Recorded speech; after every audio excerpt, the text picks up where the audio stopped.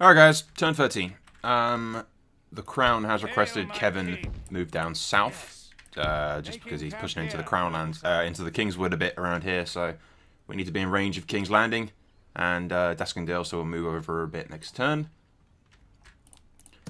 Uh, given the Stannis is, and everyone's sort of around the Kingswood around here, so if they do break through, I don't want I don't want that happening there. Because Joffrey has forted off this river, uh, this uh, river crossing right here, so I kind of want Kevan to be just in range of the fort and just in range of King's Landing. Uh, I'm not sure what's going on, but Stannis has a risk of Stannis zerging north and attacking the Riverlands if he wanted to do that. Uh, it seems unlikely, but, you know, I want Kevan uh, Tywin down here in range of what I will be Show you. I tried whipping them. Hail my king. What will be a fort yes, blocking off this. Building new defensive fortification by your command. then Tywin can come down there and defend that. I've also got the Freys coming down to defend that as well.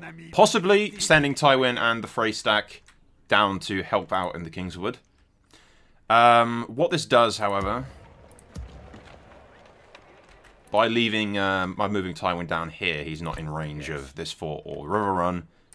So, I'm going to grab Frey.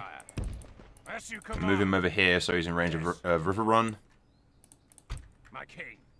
And uh, Stonehedge is just going to have to sort of stay where it is for now. Although uh, Frey is in range of it if need be. Let's build that in there for now.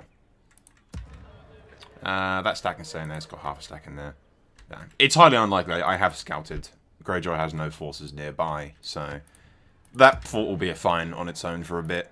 It's not going to get me killed or anything like that.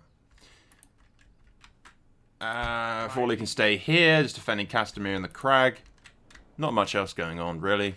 So, uh, Kevan will move down and defend that fort there next turn. Move as needed, essentially. That's about it, really. Uh, the turns are very short. Very little's happening, to be honest. That's hence why I might send Tywin down to the Kingswood just to have some action, because Stark's essentially dead. This hot seat I don't believe is going to last very long, because we've pretty much already won, unless, uh, like, Tyrell was to betray us or something utterly ridiculous like that. Even fighting Greyjoy would be a small task, frankly, with the armies that I have at my disposal. I'd easily defeat him. Alright, I thought better of that. Rather than sending Tywin just a little bit ahead, there's no real rush to get to the fort down there, so if we leave Tywin here, he can defend that fort in the unlikely event that is attacked. So, know. And Frey's not powerful enough to betray me, even if he would, which I don't think he will. As I said, Lord Frey, still in range of Riverrun. That's where he needs to be, it's fine. Leave Preston behind. Casterly Rock has a full stack. My fleet's slowly getting more shit together. Uh, yeah, that's about it, really. Kevan is still where Kevan was. Needs to go down there, essentially. But yeah, that's it. So we'll uh, we'll see you guys in the next turn. Soul out.